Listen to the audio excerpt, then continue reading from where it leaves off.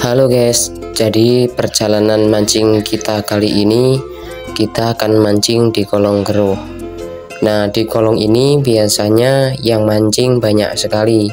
Tidak cuma laki-laki, tapi ada juga ibu-ibu yang mancing di sini, guys. Selain itu, untuk menuju spot yang kita tuju, kita harus melewati jalan yang penuh semak dan juga ranting-ranting pohon yang menjulang ke jalan guys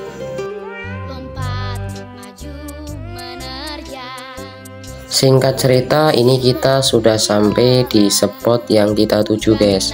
Nah itu terlihat ada dua kawan kita yang sudah menunggu kita guys. Dan juga ada ibu-ibu juga yang ikut mancing di sebelahnya guys kata ibu-ibu penunggu danau ini guys. Kalau mancing di sini jangan dekat-dekat dengan air karena biasanya ada buaya yang berpatroli. Dan juga di sini katanya ikan nilainya banyak banget.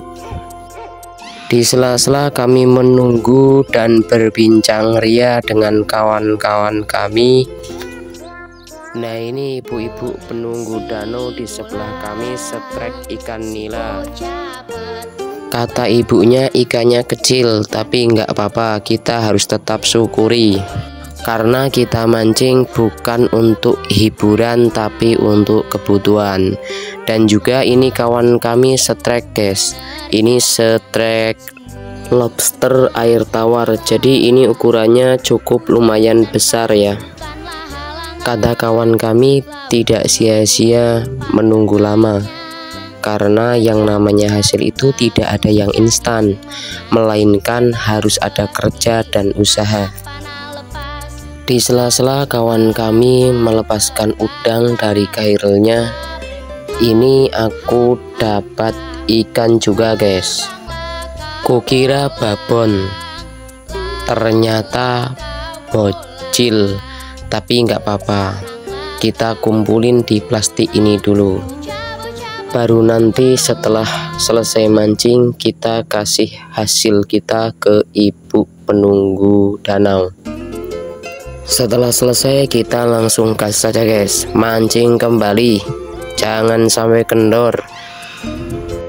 Jadi ini kita mancingnya pakai umpan pelet ya guys ya jadi ini diracik dulu. Ini bahannya dari pelet ikan dicampur telur sama nasi. Jadi kita tunggu aja guys ya.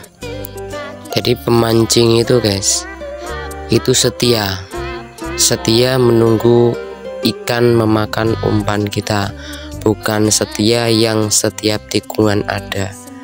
Nah ini kayaknya ada lagi yang makan guys strike lagi guys nih guys. Nah ini kawan kami strike ikan nila. Tapi dia kena di perutnya guys. Mungkin karena saking banyak ikan di kolong ini guys ya. Alhamdulillah ini kita dapat satu lagi. Jadi kita kumpulin aja dulu guys. Dan juga untuk cerita mancing kali ini cukup sampai di sini dulu aja guys ya. Kita sambung esok hari pergi memancing ke Danau Toba.